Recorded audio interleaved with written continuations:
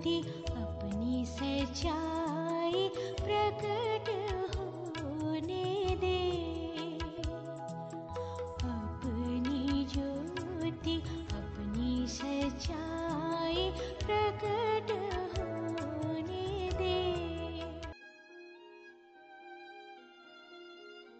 परमेश्वर के रहस्य बाटिए भाई भक्त सिंह के द्वारा अगस्त पाँच, जय के रहस्य। तब वह स्त्री जंगल में भाग गई, जहाँ परमेश्वर ने उसके लिए एक स्थान तैयार किया था कि 1260 दिन तक वहाँ उसका पोषण किया जाए। प्रकाशित वाक्य की पुस्तक बारवा अध्याय, छह पद।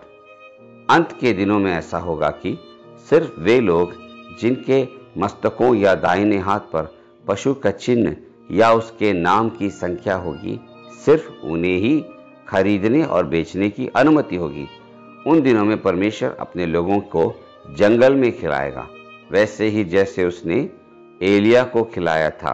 प्रकाशित वाक्य बारह अध्याय के छह पद में एलिया इसलिए सशक्त बना रहा क्योंकि उसने परमेश्वर का दिया हुआ खाना खाया था।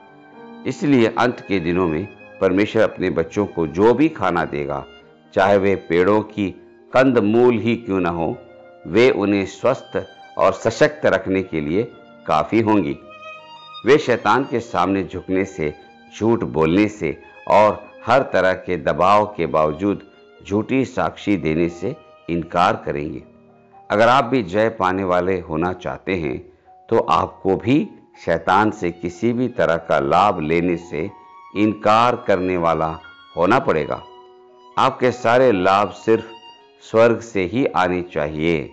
दानियल की पुस्तक, पहला अध्याय, तेरह से पंद्रह पद तक। इन युवाओं ने अधिकारी से कहा कि वह उन्हें दस दिन तक परख कर देखे।